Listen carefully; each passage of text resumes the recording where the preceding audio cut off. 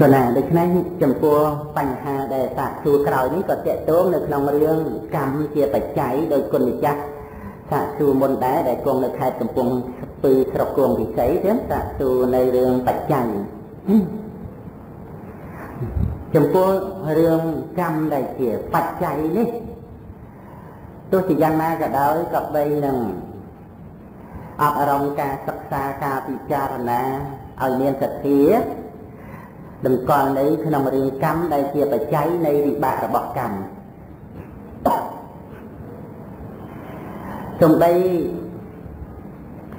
បកខជនដែលនៅក្នុងសេចក្តីសម្គាល់ថាមានខ្លួនជាអ្នកកើតក្នុងលោកហើយខ្លួននឹងនឹងត្រូវទៅកម្មបរិលោកឬមានខ្លួននឹងបានកើតក្នុងជាតិមុនមុនហើយខ្លួនស្លាប់ពីជាតិមុននឹងបានមកកើតក្នុងជាតិនេះ ទោះជានៅយល់ឃើញយ៉ាងនេះក៏ដោយតែនៅក្នុងការសម្ដែងព្រះធម៌ក្នុងព្រះពុទ្ធសាសនាគឺត្រូវតែសម្ដែងទៅតាមព្រះពុទ្ធដីកាព្រះពុទ្ធដីកាគឺព្រះអង្គបើសម្ដែងជាសត្តបញ្ញត្តិដោយអំណាចសម្តានបញ្ញត្តិគឺបញ្ញត្តិសត្វហ្នឹងតពុកជាតិចំណែកនោះគឺនិយាយសត្វកើតត្រង់ត្រង់ចឹង អាហ្នឹងគឺថាស្ដាប់បានថាជាបុគ្គលបញ្ញត្តិគឺសត្វកើតដូចថាអ្នកដែលធ្វើទៀននឹងឯងរមែងទៅកើតក្នុងសុគតិភពហើយវិលត្រឡប់មកកើតជាមនុស្សមានសម្បត្តិច្រើនអាហ្នឹងនិយាយត្រង់ត្រង់អញ្ចឹងជាបុគ្គលបញ្ញត្តិហើយអ្នកកំណាញ់ទៅកើតក្នុងនរកអញ្ចឹងទៅហើយត្រឡប់មកជាមនុស្សអ្នកក្រអញ្ចឹងហើយអ្នកដែលស្ដាប់គួរសិក្សាគួរសាកសួរធัวអីចឹងទៅ គឺថានាំឲ្យទៅកើតក្នុងសុគតិភពហើយវិលត្រឡប់មកកើតជាមនុស្សជាអ្នកមានបញ្ញាអញ្ចឹងទៅហើយផ្ទុយពីនឹងបើថាទៅកើតជានរកកើតមកត្រឡប់មកជាមនុស្សវិញក៏ជាអ្នកងងអីចឹងទៅហើយអ្នកដែលធ្វើនៅអបជាយណៈអីចឹងទៅកើតជាទេវតាត្រឡប់មកកើតជាមនុស្សជាអ្នកមានស័ក្តិធំចឹងទៅបើថាមិនមានអបជាយណៈទេដោយអកុសលនាំឲ្យទៅកើតនៅក្នុងអបាយភូមិមកកើតជាមនុស្សក្នុងតកូល ហៅទៀតអីចឹងទៅព្រោះខ្វះអបជាយណៈអញ្ចឹងដែលព្រះអង្គសម្ដែងហ្នឹងជាបុគ្គលបញ្ញាអានឹងគឺសម្ដែងតាមសាសនានឹងប៉ុន្តែកុំឲ្យវាមានដែលថាវិញ្ញាណនឹងស្ទុះទៅអន្តោទៅកើតពាក្យហ្នឹងព្រះអត់សម្ដែងទេដូច្នេះយើងសម្ដែងបញ្ញត្តិឲ្យដឹងថាបញ្ញត្តិជាបុគ្គលអ្នកទៅកើតជាបុគ្គលកុំកុំកុំបញ្ចូលអាអាទិដ្ឋិរបស់យើងទៅថាដែលព្រះអង្គសម្ដែងបុគ្គលទៅកើតថាទៅថា វិញ្ញាណនឹងទៅកើតបើវិញ្ញាណមិនទៅកើតទេបានសត្វណាទៅកើតអាហ្នឹងបញ្ចូលមតិខ្លួនឯងដែលព្រះមិនបានសម្ដែងហើយយើងយកមកថាវិញ្ញាណទៅកើតហ្នឹងអានេះគឺយើងសិក្សាបរិយ័តធម៌យើងសម្ដែងទៅតាមព្រះពុទ្ធវចនៈយើងសម្ដែងលើសម្ដីយើងនៅមានចិត្តិយ៉ាងណាក៏ដោយអានឹងរឿងរបស់យើងប៉ុន្តែកុំឲ្យខុសពីព្រះសម្ដែងដូចសាតិពិខុស្ដាប់បជាដកទាំងឡាយផ្សេងផ្សេងព្រះអង្គសម្ដែងពីព្រះវេស្សន្តរៈជាដកសម្ដែងអំពី ពេលនិយាយជាដកអីអីទៅអូអញ្ចឹងព្រះអង្គសម្ដែងពីវិញ្ញាណហ្នឹងអន្តោទៅស្ទុះទៅហើយមើលតាំងពីព្រះអង្គជាតិមុនអីរហូតមកណែរហូតដល់ព្រះអង្គបានប្រាស់ជាពុទ្ធហ្នឹងអញ្ចឹងគឺព្រះអង្គសម្ដែងពីវិញ្ញាណហ្នឹងស្ទុះស្ទុះអន្តោមកកើតអញ្ចឹងសត្វលោកហ្នឹងដែលមិនតាន់អស់ជាតិកំណើតក៏វិញ្ញាណហ្នឹងស្ទុះទៅអន្តោតទៅទៀតដែរគឺព្រះសម្ដែងអញ្ចឹងអាហ្នឹងទៅជាមូលព្រះពុទ្ធដីកាកោះដំណើរឬគល់ដែលជាគុណរបស់ខ្លួនហ្នឹងចោលទៅ អានឹងអញ្ចឹងសំដីក្នុងការសំដែងពោលយើងតែស្មានដាក់ខែនយោបល់យើងមកខុសហើយចឹងព្រះលោកសំដែងពីរឿងបញ្ញត្តិពីរឿងស្រាប់ទៅកើតគឺថាបញ្ញត្តិគឺបញ្ញត្តិចឹងមកអត់មានញញើតណាប្រអប់មាត់អីថារឿងសត្វរឿងអីហ្នឹងថាស្លាប់ទៅគឺថាសត្វហ្នឹងត្រូវតែកើតតាមអំពើដែលបានធ្វើហ្នឹងហើយហ្នឹងរឿងបញ្ញត្តិគឺថាដឹងតែបញ្ញត្តិចឹងបងប៉ុន្តែដែលអាចដើម្បីមានជាបញ្ញត្តិអញ្ចឹងបានវាអាស្រ័យបរមត្តធម៌ហ្នឹង ដែលអាចមានបញ្ញត្តិថាសត្វនឹងទៅកើតនរកប្រែទេឆានអសុរកាយឬទៅកើតជាទេវតាកើតជាព្រំនេះដែលបញ្ញត្តិរឿងហ្នឹងដោយសំតាមណបញ្ញត្តិហ្នឹងដែលដែលរឿងបញ្ញត្តិថាសត្វនឹងឯងតពុកជាតិកំណើតមួយទៅមួយហ្នឹងវាដោយអាស្រ័យបរមត្តធម៌គឺកម្មបច្ចយោណាយោងទៅលើបរមត្តធម៌នេះទេណាហើយដែលកម្មជាបច្ច័យនេះគឺអត់មានវិញ្ញាណស្ទុះទៅកើតទេរឿងវិញ្ញាណស្ទុះទៅកើតគឺមិនមែនជាព្រះពុទ្ធវចនៈមិនមែនជាព្រះពុទ្ធដីកា ក្នុងបត្រៃដីដកដែលព្រះអង្គសម្ដែងជាសម្មាទិដ្ឋិដែលព្រះអង្គទ្រង់សម្ដែងអំពីបដិច្ចសមុបាទធម៌គឺព្រះអង្គសម្ដែងអំពីសង្ខារបច្ចយាវិញ្ញាណហ្នឹងគឺសម្ដែងពីកម្មជាបច្ច័យនៃបដិសន្ធិវិញ្ញាណគឺមិននិយាយពីវិញ្ញាណថាជាពលឹងថាជាសត្វបុគ្គលនឹងស្ទុះអន្តោទៅកើតទេបើថានិយាយពីបញ្ញត្តិសត្វទៅកើតត្រង់ត្រង់តែម្ដងពីព្រោះអីបានជាមានសត្វទៅកើត ព្រោះកម្មជាបច្ច័យនៃបដិសន្ធិវិញ្ញាណមិនមែនសំដៅថាវិញ្ញាណនឹងជាសត្វណាសត្វគឺវិញ្ញាណវិញ្ញាណទៅកើតគឺសត្វទៅកើតអត់មែនចឹងទេយើងចឹងទេណាគុណចាស់ញាតិញោមទេអានឹងស្ដាប់កុំឲ្យយល់ចូលចិត្តខុសណាពីព្រោះពាក្យដែលនិយាយពីរឿងពលឹងចុះទៅកើតឬការដែល ចេញទៅកើតអីអីដោយពលឹងដោយអីហ្នឹងគឺជាពាក្យមួយដែលធ្វើឲ្យមានការវល់វឹកនៅក្នុងវិស័យនៃពុទ្ធបរិស័ទទៅទេដូចជារឿងសាតិវិខអីហ្នឹងនៅក្នុងអត្ថកថាសម្ដែងតែសាតិវិខហ្នឹងជាមហាចៅប្លន់សាសនាពីព្រោះអាងថាព្រះសម្មាសម្ពុទ្ធសម្ដែងអញ្ចឹងម្ល៉េះហើយធ្វើឲ្យបុគ្គល10នាក់100នាក់1000នាក់ជឿតាមជឿតាមថាពុទ្ធសាសនាសម្ដែងពីវិញ្ញាណស្ទុះទៅទៅទៅអញ្ចឹងម្ល៉េះហើយវាជា ការប្រកាសនៅនៅពាក្យដែលមិនមែនជាធัวមិនមែនជាវិន័យថាជាធัวថាជាវិន័យម្ល៉េះវាអត់មានតម្លៃអីក្នុងសាសនាដើម្បីនាំសត្វលោកឲ្យរួចផុតចាកទុកទេវាមានរួចផុតចាកទុកឯណាបើនិយាយពីសត្វមានដោយអំណាចថាមានវិញ្ញាណមានពលឹមហ្នឹងជាការទៅកើតទៀតអញ្ចឹងវាអត់មានការរួចផុតចាកទុកទៅបានទេការដែលព្រះអង្គប្រកាសនៅសាសនាព្រះមច្ចរយៈនេះដោយកម្មបច្ចយោនេះដែលធ្វើឲ្យ សត្វលោករួចផុតចាកទុកពីព្រោះបដិសេធអត្តាបដិសេធសត្វគ្រាន់តែនិយាយសន្មត់ទៅតាមបច្ច័យនឹងតែប៉ុណ្្នឹងទេដែលថាសត្វកើតក្នុងភពក្មេងនឹងគ្រាន់តែសន្មត់ទៅទេប៉ុន្តែពាក្យថាកម្មបច្ចយោនេះគឺបដិសេធសត្វបាត់ទៅហើយបដិសេធអត្តាបាត់ទៅហើយអញ្ចឹងបុគ្គលដែលស្ដាប់ត្រឹមតែពាក្យកម្មបច្ចយោនេះគឺកម្មដែលជាបច្ច័យនៃផលវិបាករបស់កម្មនេះ អាចបានឃើញនៅព្រះនិព្វានណាទេត្រង់រំលត់សេចក្តីប្រកម្មថាខ្លួនអ្នកធ្វើកម្មរំលត់សេចក្តីប្រកម្មថាខ្លួនជាអ្នកទទួលផលវិបាករបស់កម្មតែឃើញកម្មជាបច្ច័យនៃផលវិបាករបស់កម្មសត្វក្នុងការស្ទុះទៅអន្តោទៅអត់មានឡើយដែលសត្វអ្នកទៅកើតយ៉ាងណាយ៉ាងណាគ្រាន់តែសន្មត់ទៅលើកម្មជាបច្ច័យនៃផលវិបាករបស់កម្មទៅប៉ុណ្ណោះ គ្រាន់តែប៉ុណ្្នឹងទេតែភាវៈជាសត្វជាអត្តានោះគឺមិនមានក្នុងកម្មជាបច្ច័យនៃផលវិបាករបស់កម្មអានេះគឺជាការប្រកាសសាសនាព្រះមច្ចរិយៈបរិសុទ្ធបរិបូរណ៍ដោយអត្ថនិងជាញ្ញៈអានឹងវាអញ្ចឹងដូច្នេះគឺក្នុងការព្រះអង្គសម្ដែងទោះជាសមតិសច្ចៈក្តីជាបរមត្តសច្ចៈក្តីគឺមិនអោយសត្វលោកមានមិច្ឆាទិដ្ឋិគឺមិនអោយមាននៅក្នុងរឿងហ្នឹងអញ្ចឹង នៅក្នុងរឿងកម្មដែលជាបច្ច័យនៃផលវិបាករបស់កម្មនេះកម្រិតនៃបញ្ញាដែលអប់រំចម្រើនទៅចម្រើនទៅទៀតអប់រំចម្រើនទៅចម្រើនទៅគឺថាមានញាណមានបញ្ញានៅក្នុងបដិច្ចសមុបាទធម៌ហើយហ្នឹងគឺជាក់ច្បាស់នៅក្នុងរឿងកម្មជាបច្ច័យនៃផលវិបាករបស់កម្មដោយកំចាត់បងនៅសេចក្តីសង្ស័យទាំងឡាយទាំងពួងដែលថា ក្នុងអតីតកាលហ្នឹងអាត្មាអញហ្នឹងមានមានយ៉ាងណាណោះកើតជាអីណោះអាហ្នឹងគឺសេចក្តីសង្ស័យហ្នឹងអត់មានទេហើយតទៅអនាគតហ្នឹងអាត្មាអញហ្នឹងជាអីណោះកើតជាអីឈ្មោះអីតកូលអីបរិភោគអាហារអីពលសម្បល់អីហ្នឹងក៏អត់មានដែរហើយសំដីសេចក្តីសង្ស័យក្នុងបច្ចុប្បន្នហ្នឹងថាអាត្មាអញមែនឬមិនមែនណោះសេចក្តីសង្ស័យទាំងអស់គឺមិនមានព្រោះអីពីព្រោះ ឃើញដល់ហេតុបច្ច័យនៃរូបធម៌និងនាមធម៌ត្រាស់ដឹងនៅបដិច្ចសមុបាទធម៌ហ្នឹងហើយដើម្បីមានបញ្ញាឃើញបដិច្ចសមុបាទធម៌នេះវាតតែតាមរយៈនៃការអប់រំសតិប្បដ្ឋានជាផ្លូវតែមួយដែលប្រតិដើម្បីបានឃើញនៅសច្ចធម៌បដិច្ចសមុបាទធម៌នេះក៏ជាសច្ចធម៌យ៉ាងពិតដែលជីវិតប្រតិដោយ បច្ច័យយ៉ាងណាយ៉ាងណាក្នុងសង្សារវដ្តនេះនឹងព្រះអង្គទ្រង់ប្រកាសសម្ដែងដោយសម្មាទិដ្ឋិ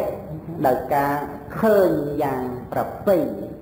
មិនប៉ះពាល់ទៅដោយទិដ្ឋិដល់លមក់ទាំងពីរដែលថាមានខ្លួនក្នុងលោកនេះ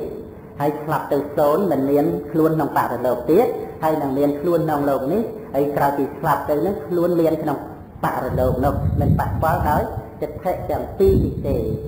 គឺព្រះអង្គទ្រង់សម្ដែងពីអវិជ្ជាមាននាំឲ្យកើតកម្មមិនមែនសត្វបុគ្គលមានអ្នកធ្វើកម្មទេរឿងការសន្មត់អ្នកធ្វើកម្មគឺគ្រាន់តែសន្មត់តែប៉ុណ្ណោះនៅក្នុងសន្តិសច្ចៈដោយលេខប៉ុន្តែរឿងពិតគឺថាមានអវិជ្ជាគឺមានកម្មកើតឡើងជាបរមត្តធัวចេតនាកម្មកើតឡើងក្នុងកុសលក្នុងអកុសលនេះគឺកើតមកពីអវិជ្ជាជាបច្ច័យ បើអវិជ្ជាអត់មានកម្មនេះគឺវាអត់មានចឹងអត់មានអ្នកណាទៅធ្វើកម្មអីទេគឺកម្មកើតព្រោះអវិជ្ជាជាបច្ច័យព្រោះការដែលមិនដឹងនាមរូបអាការដែលមិនដឹងនឹងនាំឲ្យហួងហែងនាមរូបនាំឲ្យតក់ស្លុតនាមរូបអាការហួងហែងការតក់ស្លុតសេចក្តីប្រាថ្នានឹងឯងវាបង្កើតកម្មឡើងអញ្ចឹងទៅតែកាលណាមានកម្មអញ្ចឹងកម្មនឹងវាមានកម្លាំងអាចមានសម្ព័ន្ធរវាងគ្នានឹងវិបាកនោះ អញ្ចឹងគេវិបាកដែលអាចកើតឡើងបានក្រៅអំពីកម្លាំងកម្មនេះមិនមានទេអញ្ចឹងប៉ុន្តែកម្មដែលអាចញ៉ាំងវិបាកឲ្យកើតឡើងមានវិបាកកបដិសន្ធិហើយអាចមានដល់ទៅកម្មមជ្ឈរូបក្នុងភពថ្មីនោះអាចចឹងបានក៏ដោយអាស្រ័យមានបញ្ហាជាទឹកដែលធ្វើឲ្យក្របពូជគឺកម្មវិញ្ញាណណាវិញ្ញាណដែល សហជាតិធម៌ជាមួយកម្មនឹងវិញ្ញាណនឹងអាចសម្ដីដកចេញជាពលក់ទៅបានព្រោះរឿងកម្មដែលជាបច្ច័យនេះមិនមែនកើតឡើងតែឯងដោយអត់វិញ្ញាណទេវាត្រូវមានវិញ្ញាណជាធំនៅក្នុងរឿងកម្មហ្នឹងគ្រាន់តែថាក្នុងការបែងចែកនៅបដិសន្ធិឲ្យថោកទាបឬប្រណិតហ្នឹងវានៅលើលក្ខណៈប្រភេទរបស់កម្មប៉ុន្តែក្នុងកម្មហ្នឹងក៏វាមានវិញ្ញាណជាចាំបាច់ដែរអញ្ចឹងទាំងចេតនាកម្មទាំងកម្មវិញ្ញាណ គឺវិញ្ញាណដែលប្រកបជាមួយកម្មហ្នឹងឯងដែលវានាំឲ្យមានបដិសន្ធិវិញ្ញាណហ្នឹងបដិសន្ធិវិញ្ញាណដោយអំណាចកម្មបច្ច័យហើយនឹងវិញ្ញាណហ្នឹងមិនមែនជាតួកម្មបច្ច័យក៏ពិតមែនប៉ុន្តែក៏ជាឧបនិស្សយបច្ច័យផងដែរហើយហ្នឹងវាត្រូវទៅទាំងកម្មបច្ច័យទាំងឧបនិស្សយបច្ច័យចេតនាជាតួកម្មនាំឲ្យមានវិបាកបរិសន្ធិនិងកម្មមជ្ឈរូបដោយកម្មបច្ច័យវិញ្ញាណ ហើយនឹងចេតសិកដែលប្រកបជាមួយកម្មហ្នឹងជាឧបនិស្សយបច្ច័យនៃវិបាកបរិសន្ធិនិងកម្មមជ្ឈរូបហ្នឹងអានឹងដែលមាននឹងមានអញ្ចឹងហើយពាក្យថាបច្ច័យនៅទីនេះទោះជាយើងចេះនិយាយចេះថាចេះចារណាអីក៏ដោយប៉ុន្តែបើអត់មានញាណក្នុងបច្ច័យហ្នឹងទេដែលហៅថាបច្ចយៈបរិច្ចាញាណទេវាមិនអាចដឹងថាតើបច្ច័យហ្នឹងដែលនាំឲ្យកើតផលវិបាករបស់កម្មហ្នឹងយ៉ាងម៉េចវាអត់ដឹងទេពីព្រោះអានេះវាជាកម្រិតនៃញាណ គឺបញ្ញាដែលឃើញដោយអំណាចនៃបច្ច័យហ្នឹងគឺអ្វីដែលកើតពីបច្ច័យហ្នឹងវាអត់មានដើម្បីថាមុននឹងកើតហ្នឹងនៅកន្លែងណា ដើម្បីរងចាំការកើតនោះគឺអត់មានតទៅសោះស្រាប់តែដោយអំណាចនៃកម្លាំងកម្មជាបច្ច័យហ្នឹងគឺថាអ្វីដែលជាផលកើតឡើងនោះគឺឧបាតកណៈកើតឡើងតែម្ដងមុននឹងកើតគឺអត់មានអត់តាំងនៅក្នុងទីណាចាំកើតទេនេះដែល ដែលញាណបញ្ញាឃើញកម្លាំងនៃបច្ច័យដែលឲ្យកើតផលអញ្ចឹងដោយជាវិបាកបរិសន្ធិហើយនឹងកម្មមជ្ឈរូបក្នុងផ្ទៃនៃលាដាផ្ទៃនៃលាដាអានឹងគឺជាការសន្និសន្មត់ទេកន្លែងហ្នឹងសន្មត់ទេប៉ុន្តែបើនិយាយអំពីភពគឺថាជាកាមាវចរៈភពគឺតួកាមាវចរៈវិបាកបរិសន្ធិហើយនឹងកម្មមជ្ឈរូបហ្នឹងប៉ុន្តែយើងនិយាយ ដើម្បីឲ្យស្ដាប់បានអំពីកំណើតនោះដែលថាជាជាលំពុជៈកំណើតគឺត្រូវនៅក្នុងផ្ទៃនៃមេដាអាហ្នឹងគឺវាមាននិយាយពីភពផងនិយាយពីកំណើតផងបើនិយាយពីភពគឺភព3គឺកាមភពរូបភពអរូបភពប៉ុន្តែនិយាយដើម្បីឲ្យដឹងអំពីភពដែលត្រូវកើតនឹងកើតយ៉ាងណាយើងត្រូវនិយាយពីកំណើត4នោះថែមទៀតហើយបើនិយាយឲ្យស្ដាប់បានជាងនឹងទៅនិយាយពីគតិ5នោះថែមមកទៀត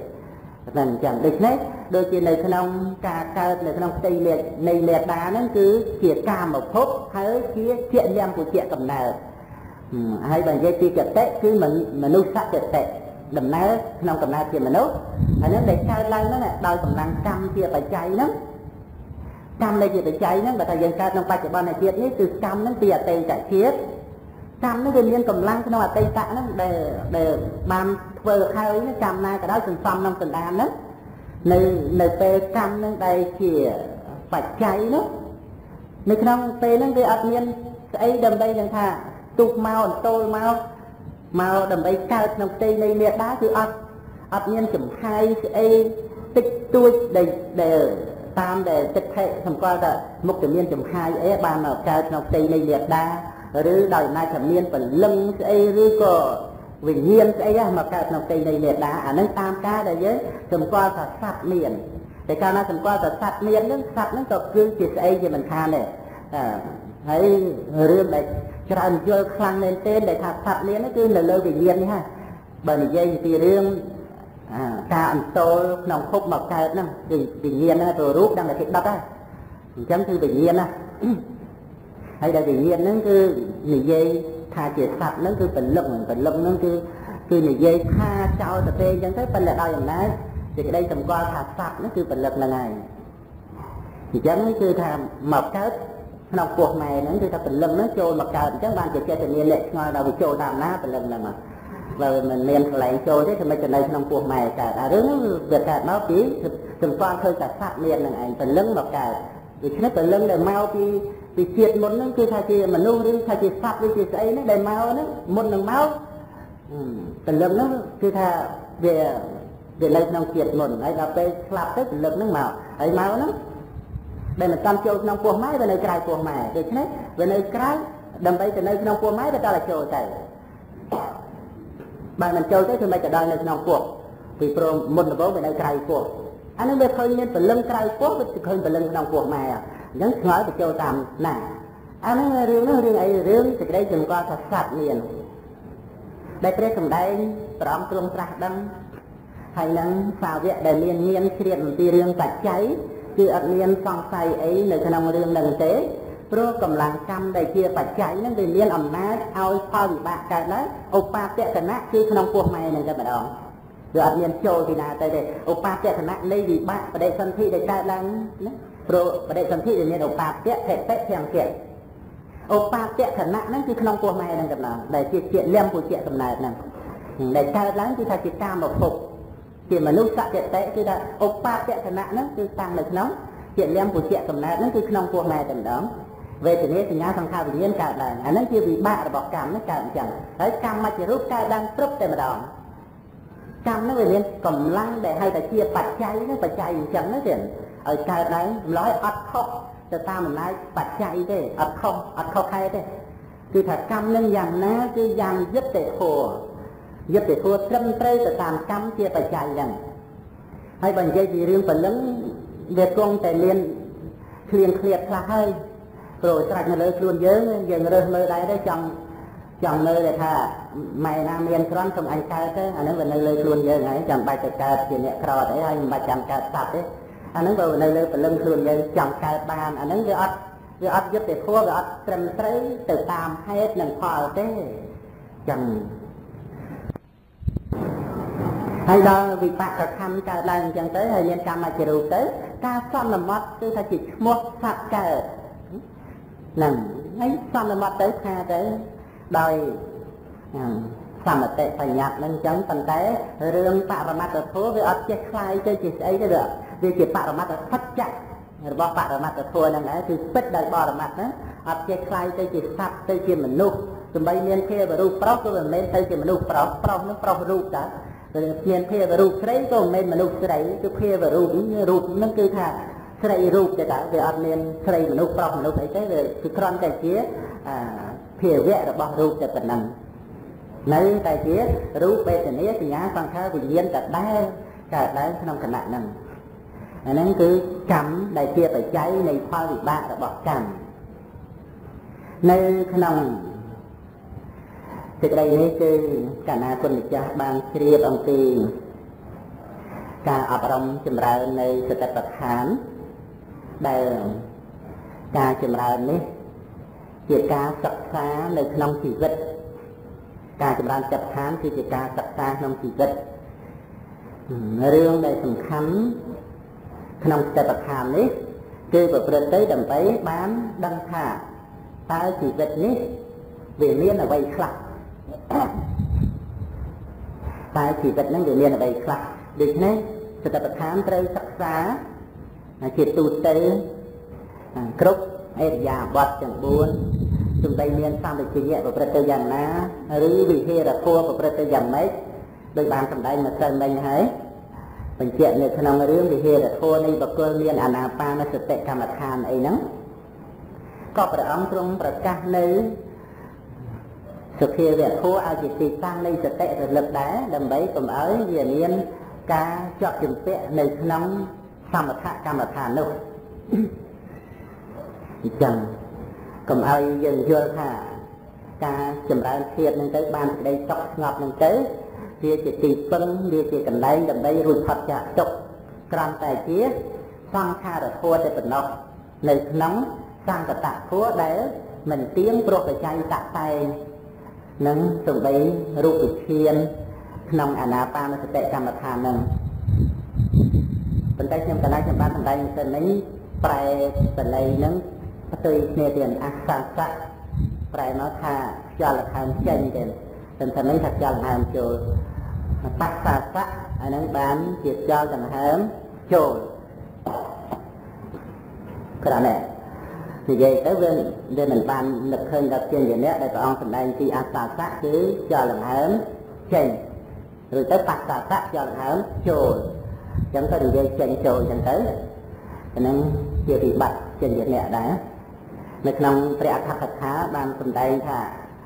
នៅក្នុងការដែលសម្ដែង អំពីរឿងខ្យល់ដង្ហើមចេញរួចបានសម្ដែងពីខ្យល់ដង្ហើមចូលគឺជារកដែលប្រសូតចាក់ផ្ទៃនៃមេដាមកនោះជា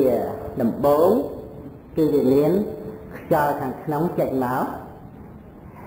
ជាដំបូងខ្យល់ខាងក្នុងចេញមកអាហ្នឹងគឺនិយាយរាប់ចាប់តាំងពីកើតពីផ្ទៃនៃមេដាណាទៀតដើម្បីនឹងមានការចូលខ្យល់ខាងក្រៅទៅនោះណា ពីព្រោះនៅក្នុងផ្ទៃនៃមេដាអាហ្នឹងវាជារឿងមួយផ្សេងតែដល់ទៅទៅសូត្រចេញមកដើម្បីខ្យល់ខាងក្រៅចូលទៅក្នុងទួតនោះវាត្រូវមានខ្យល់ពីក្នុងចេញមកមុនរួចបានទៅត្រូវខ្យល់ពីក្រៅចូលទៅអញ្ចឹងក្នុងការដែលព្រះអង្គសម្ដែងហ្នឹងទៅតាមរយៈនៃអសាសៈបសាសៈគឺខ្យល់ខាងចេញគឺបានខ្យល់ខាងចូលប៉ុន្តែនៅក្នុងការដែលមានសតិរលឹកដឹងហ្នឹងគឺថាចេញចូលចេញចូលរហូត ជាធម្មតាទៅតាមការដែលមានសតិប៉ុន្តែរឿងសំខាន់ក្នុងអាណាបាណបពៈគឺបញ្ជាក់លក្ខណៈត្រង់កាយក្នុងកាយដោយសេចក្តីថាមិនមានជាសត្វមិនមានជាសត្វក្នុងកាយហើយក៏មានសភាវៈដែលត្រូវកើតឡើងដូចជាតួវេទនាឲ្យទៅជាវេទនានុបស្សនាចិត្តដ្ឋានមានចិត្តកើតឡើងឲ្យទៅជាចិត្តតានុបស្សនាចិត្តដ្ឋានមានធัวកើតឡើងឲ្យទៅជាធម្មមានុបស្សនាចិត្តដ្ឋានអញ្ចឹងចែកទៅជាពួកកាយដោយចតុកៈគឺថាមាន4អានឹងមកពួកទៅដោយវេទនាចតុកៈដែរមាន4មកពួកទៅដោយចិត្តចតុកៈគឺមាន4មកពួកទៅដោយភួជាចតុកៈដែរទៅជា16ដែលព្រះអង្គទ្រង់ប្រាស់សម្ដែងដើម្បីកុំឲ្យវង្វេងដេចចិត្តប៉ុន្តែបើប្រព្រឹត្តទៅដោយវិហារធម៌យ៉ាងណាក្នុងការចម្រើនព្រះវិហារធម៌តាមអំណាចនៃចរិត ដែលជាទីសប្បាយក្នុងការចម្រើននៃពិហេរធัวដោយអនុសតិទៅតាមចរិតដែលជាទីសប្បាយពីព្រោះមនុស្សយើងវាមានចរិតផ្សេងគ្នាថាទោសៈចរិតក៏ចម្រើនមេត្តាករុណាអីចឹងទៅសទ្ធាចរិតក៏ចម្រើនអនុសតិអីចឹងទៅវិតកចរិតក៏ចម្រើនអនាបាអីចឹងទៅដូច្នេះប៉ុន្តែសេចក្តីនេះទោះជាមានវិហេរធัวយ៉ាងណាក៏ដោយដោយសង្ឃកម្មដ្ឋានតែព្រះអង្គបានសម្ដែង នៅបរមត្តធัวក្នុងវិហារធម៌ទាំងអស់ហ្នឹងឲ្យឃើញថាមានកាយមានវេទនាមានចិត្តមានធម៌ដើម្បីជាទីតាំងនៃសតិរលឹកនឹងដើម្បីអីដើម្បីបានឃើញថាតើជីវិតនេះតើជីវិតនេះដែលជាយ៉ាងសាមញ្ញធម្មតាហ្នឹងវាមានអ្វីខ្លះចំពោះជីវិតនេះណាទៀតដែលជាយ៉ាងសាមញ្ញធម្មតាហ្នឹងវាមានអីខ្លះនេះក្នុងការ អប់រំចម្រើននៅសតិប្បដ្ឋានហ្នឹងមានអ្វីខ្លះកាលណាបើយើងមិនបានអប់រំចម្រើននៅសតិភាវនាគឺការចម្រើនសតិថ្នាក់ចិត្តឋាននឹងដើម្បីឲ្យបានដឹងថាជីវិតនឹងវាមានអ្វីខ្លះទេកាលដែលអ្វីផ្លែកផ្លែកដែលវាមានកម្រិតខ្លាំងកម្រិតធ្ងន់អញ្ចឹងមកដល់ជីវិតនេះវាអាចដើម្បីកម្រើកញាប់ញ័របានបើថាជាអិដ្ឋារម្មណ៍ជាអតិអិដ្ឋារម្មណ៍ក៏រីករាយខ្លាំងទៅ រីករាយខ្លាំងរំជើបរំជួលខ្លាំងត្រេកអរខ្លាំងទៅហើយបើជាអាណិតថារំដែលមិនជាទីប្រាថ្នាមិនជាទីពេញចិត្តក៏តក់ស្លឹកខ្លាំងរំជើបរំជួលខ្លាំងទៅមកពីអីមកអំពីមិនបានដឹងថាតើជីវិតនឹងវាត្រូវមានអ្វីខ្លះនេះការអប់រំចិត្តដ្ឋានណាទៀតមានប្រយោជន៍ដើម្បីឲ្យដឹងអ្វីខ្លះក្នុងជីវិតនេះព្រោះជីវិតនេះវាមានច្រើនណាស់ ដោយខណ្ឌធាតអាយតនៈដោយសភាវៈយ៉ាងណាតាមព្រះអង្គសម្ដែងញែកដោយលក្ខណៈនៃបរមត្តធម៌ដោយសភាពនៃចិត្តនឹងវាមានចិត្តអីខ្លះដែលត្រូវកើតឡើងក្នុងជីវិតនេះដែលជាបរមត្តសច្ចៈដោយចិត្តបរមត្តហើយវាមានប្រភេទនៃចេតសិកដែលប្រកបជាមួយចិត្តហ្នឹងប្រភេទចេតសិកអីខ្លះដោយចិត្តសិកបរមត្តនឹងជាបរមត្តសច្ចៈហើយវាមានប្រភេទនៃរូបនឹងរូបអីខ្លះប្រកបតាមទានណាគឺជារូបបរមត្តនឹងដោយបរមត្តសច្ចៈ អានឹងដែលសិក្សាព្រះអភិធម្មក៏ជាឧបការៈយ៉ាងធំធេងក្នុងស្ថិដ្ឋានបរិបត្តិដើម្បីសិក្សាឲ្យឃើញថាធម្មតានៃជីវិតនឹងវាមានអ្វីខ្លះកាលណាបើសិក្សាដោយត្រង់ដោយចំពោះនៅធម៌ដែលមានក្នុងជីវិតនឹងដោយទូទៅអញ្ចឹងទៅកំណត់ដឹងដោយកម្រិតនៃបញ្ញាច្រើនទៅច្រើនទៅដឹងថាអ្វីដែលកើតមានក្នុងជីវិតនេះវាសម្រាប់ជីវិតជីវិតវាតែងតែមាននៅរបស់ពិតហ្នឹងវាអាចដើម្បីកាត់បង ឬគ្របសង្កត់នៅសេចក្តីញាប់ញួរញាប់ញួរដោយការត្រេកអរទៅឬក៏ញាប់ញួរទៅដោយការភ័យតក់ស្លឹករន្ធត់ក្តៅកាហាយអីហ្នឹងវាអាចដើម្បីកាត់បងឬគ្របសង្កត់បានព្រោះអីព្រោះដឹងថាអ្វីអ្វីដែលកើតមាននេះវាវាជារបស់ជីវិតព្រោះសតិប្បដ្ឋានបានសិក្សារឿយរឿយហើយថាជីវិតនេះទៅត្រូវមានអ្វីខ្លះ កាលណាបើបានដឹងច្បាស់ថាជីវិតវាវាត្រូវមានអ្វីខ្លះហើយដល់អ្វីនឹងកើតឡើងមិនឆ្ងល់មិនឆ្ងល់ថាម៉េចបានអញ្ចឹងមិនឆ្ងល់ទេពីព្រោះដឹងថាជីវិតវាមានរបស់ហ្នឹងដល់អញ្ចឹងអត់ឆ្ងល់ទេព្រោះដឹងដឹងថាជីវិតវាត្រូវតែមានរបស់ហ្នឹងដល់ដឹងអញ្ចឹងទៅមិនឆ្ងល់ហើយក៏មិនញាប់ញួរ មិនញាប់ញួរមិនផ្លែកមិនចម្លែកមិនវិតប្រឡាស់ទេព្រោះថានេះវាជាធម្មតានៃជីវិតវាត្រូវតែមានចិត្តអញ្ចឹងវាត្រូវតែមានចេតសិកយ៉ាងហ្នឹងវាត្រូវតែមានរូបតាមដែលបានសិក្សាហើយធម្មតានៃជីវិតវាត្រូវតែមានឃើញអញ្ចឹងទោះជាថារូបនឹងអិដ្ឋារម្មណ៍យ៉ាងណាក៏ដោយឬអានិដ្ឋារម្មណ៍យ៉ាងម៉េចក៏ដែរគឺថារឿងជីវិតវាត្រូវតែមានឃើញរូបហ្នឹងម្ល៉េះវាអត់ផ្លែកចម្លែកអីរាល់ពេលនៃការឃើញទេព្រោះសតិភាវនាហ្នឹងរឿយរឿយ ហ្នឹងត្រូវតែលឺនៅសំឡេងអញ្ចឹងមិនថាសំឡេងនឹងអិតថាអារម្មណ៍យ៉ាងណាជាទីប្រាថ្នាពេញចិត្តយ៉ាងម៉េចឬអាណិតថាអារម្មណ៍អក្រក់អក្រិយយ៉ាងណាតែថាជីវិតនឹងវាត្រូវតែមានលឺសំឡេងហ្នឹង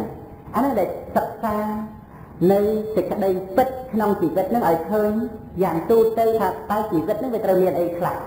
អានឹងដើម្បីអីដើម្បីមិនឆ្ងល់ហើយដើម្បីមិនមិនខ្លែកមិនចម្លែកមិនវិតប្រឡាស់សញ្ញានេះមិនប្រព្រឹត្តទៅដើម្បីរំភើបញាប់ញ័រខ្លាំងខ្លាំងហ្នឹងជីវិតវាមានការធំក្លិនគឺថាក្លិនយ៉ាងណាក៏ដោយជីវិតវាមានការដឹងរស់ទោះជារស់នឹងប្រភេទយ៉ាងណាក៏ដោយជីវិតវាមានការដឹងនៅខុសថាផ្ទះរួមជាមួយសុខរួមជាមួយទុក្ខអានឹងគឺថាជីវិតវាមានរបស់នឹងដឹងគ្រឿងគ្រីរបស់ជីវិតអញ្ចឹងដោយសារអីដោយសារការមានសតិភាវនាគឺការចម្រើនសតិដឹងដឹងជំវិញជីវិតនឹងឯងមានការដឹងរឿងយ៉ាងណាហើយក្នុងការដឹងរឿងហ្នឹងវាមាន ដឹងដល់ប្រភេទនៃចិត្តអីខ្លះអានឹងគឺជាធម្មតាជារបស់នៃជីវិតតែប៉ុណ្ណោះហើយសំបីនៅក្នុងអំពើដែលធ្វើដោយចេតនានឹងខុសក៏ដោយក៏ដឹងថានឹងវាជារបស់ពិតមួយសម្រាប់ជីវិតជាធម្មជាតិនៃជីវិតវាមានចេតនាដែលប្រព្រឹត្តទៅដោយការសំស្គងអាការសំស្គងជាការសន្មត់ក្នុងលោកនេះជាមួយគ្នានឹងការប្រព្រឹត្តយ៉ាងត្រឹមត្រូវប៉ុន្តែសេចក្តីពិតគឺត្រឹមតែជាចេតនា ដែលប្រព្រឹត្តទៅតាមផ្លូវកាយផ្លូវវិជ្ជាផ្លូវចិត្តគឺសភាពពិតក្នុងជីវិតនេះវាត្រូវតែមានចេតនាប្រព្រឹត្តទៅអញ្ចឹងអានេះគឺជារបស់នៃជីវិតសម្រាប់ជីវិតតែមាននឹងគឺនៅក្នុងការអប់រំចិត្តដ្ឋាននឹងបានសិក្សាឃើញអ្វីអ្វីដែលតែមានក្នុងជីវិតហើយក្នុងការសិក្សានេះប្រព្រឹត្តទៅដើម្បីលាយណៃក្នុងជីវិតដោយដើម្បីឃើញថាជីវិតវាមិនមែនជាសត្វបុគ្គលទេខ្លួននឹងឯង